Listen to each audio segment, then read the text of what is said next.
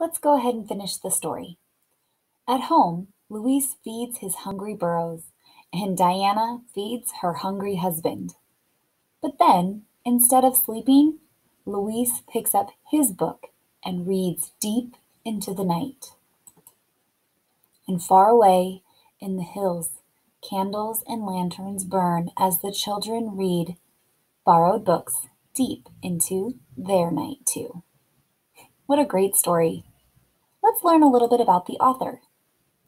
Jeanette Winter loved to write stories and draw pictures as a child. She wanted to be an artist when she grew up. Jeanette studied painting, drawing, and sculpture.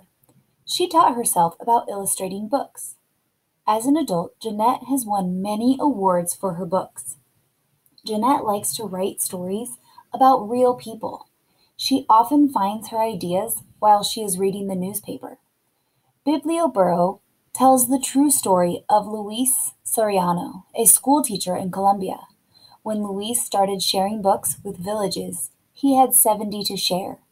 Now he has over 4,800 books to loan. Wow, that's a lot of books. Let's talk about the author's purpose. Why do you think Jeanette tells Luis's story? What do you think her purpose is?